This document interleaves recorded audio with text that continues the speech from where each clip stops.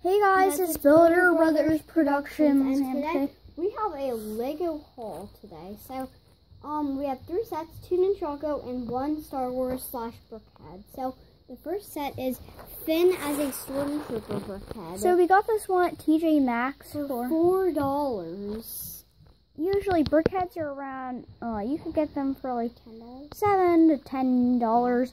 And so, I searched this one up on Amazon, and it was fourteen. dollars $14, I think. So this is Finn as a stormtrooper, mm -hmm. and, and, it's 91 pieces, and it's pretty cool. This is Brickhead's number 19, and this one's an exclusive. Yeah, so if you guys know why it says exclusive, say that, tell us in the comments, because I'm not sure this how one it's isn't exclusive. Very rare. Yeah. There's a picture of Finn on the back as a stormtrooper. And then you can see Captain Phasma, and then a cool exclusive plate that shows like a Brickhead, and then a like exclusive. And my baby brother started drawing. okay, next set we have is Spinjitzu Cole from Legacy. This was a really cool set. I got this set because of the Cole minifigure, because you can only get Cole and Cole's Earth Digger, the Monastery of Spinjitzu, and then this set, and this is the cheapest way to get them. So, you can see some Spinjitzu on the back.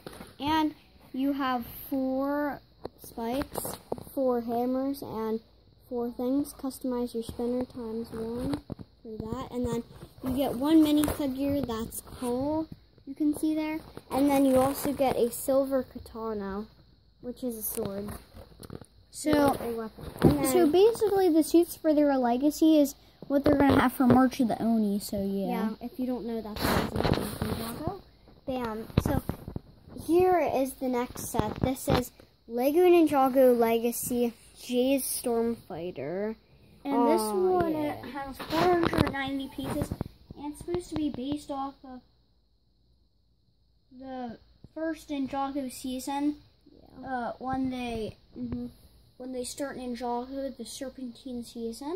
Well, I think we will end it here, and I hope you guys like it. And there's some like Samurai X in the air, and then one, um, I don't know, and then four golden weapons, all the play features, and then there's a cool picture of Jay. With So this is- This is Okay. a pretty cool haul. So Yeah, bye. bye.